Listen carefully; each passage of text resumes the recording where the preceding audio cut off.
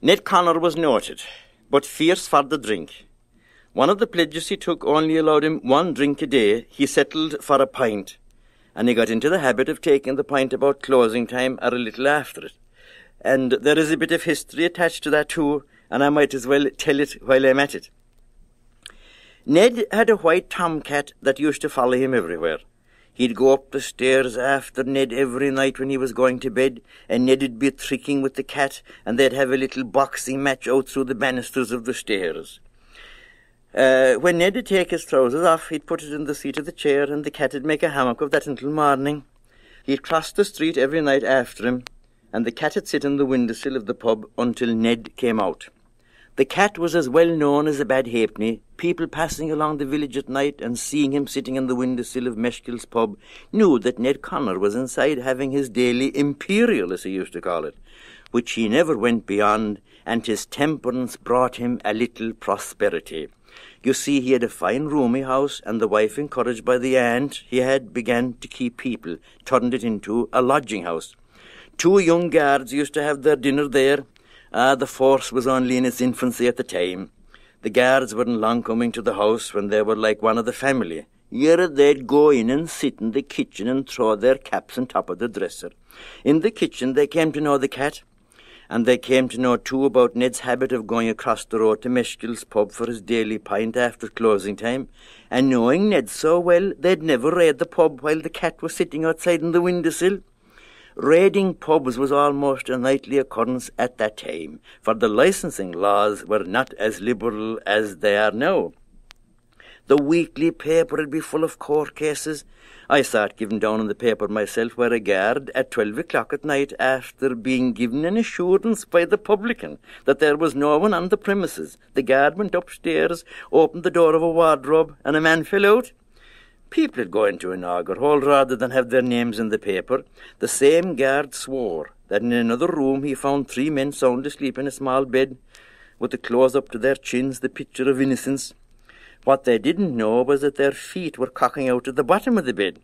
I wonder they didn't feel the cold, says the judge. How could they, says the guard, and they having their shoes on?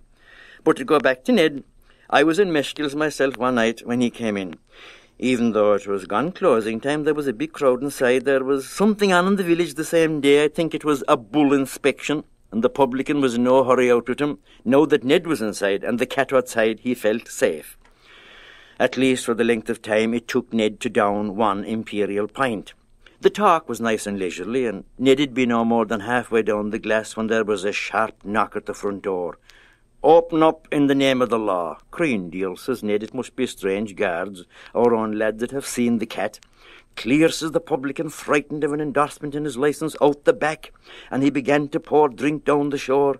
In another second the lights were out, totally eclipsed, and there was what I can only describe as a stampede towards where we thought the back door should be. We were going into presses and closets and everything. And when we found out the door, the first of the crowd out were bolting back like a squad of rabbits that had meet a ferret in the turn of a burrow. There was another guard, you see, at the back gate.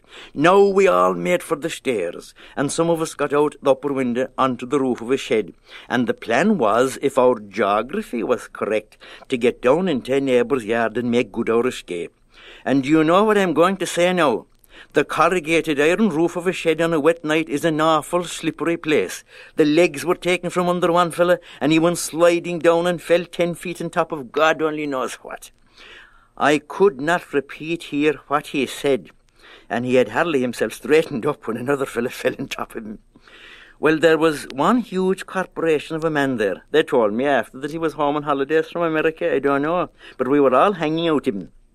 Blessed oh tonight if the man didn't lose his balance and crashed in the flat of his back on the roof, bringing us all down with him. Such a report! Cows, pigs, geese, all the animals in the vicinity woke up as we went skeeting down the roof and fell in top of one another into the black hole of Calcutta. Then you heard language. Drink lubricates the talking machine. 'Twas like Dunkirk. And to make matters worse, whatever way it happened, down into the publican's yard we fell. The police were there before us, our names were taken, and so we had all our work for nothing.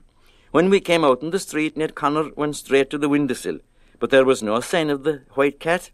He couldn't believe his eyes. But whatever look he gave, there beyond the school wall was Ned Connor's white cat, holding a loud conversation with a member of his own community. Well, bad manners to you anyway for a white cat, says Ned, rubbing his shins. I'd have nearly gone without my imperial pint tonight if I knew that you had a date.